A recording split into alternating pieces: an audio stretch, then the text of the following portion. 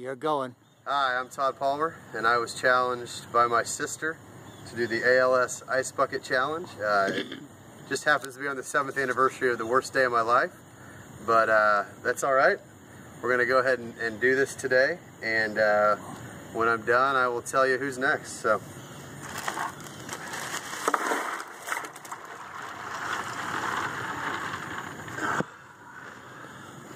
Maybe I should have got a bigger I bucket. may have to take a picture. You may have to come by still.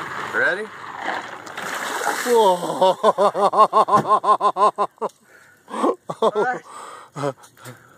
It's brisk.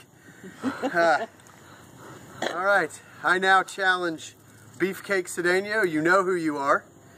Uh, my buddy Aaron Gwin's wife, Carol Gwin, just because I want to see him dump a bucket of water on your head. And uh, number 99, Carl Edwards. Get your engine started. You guys have 24 hours to take the Ice Bucket Challenge.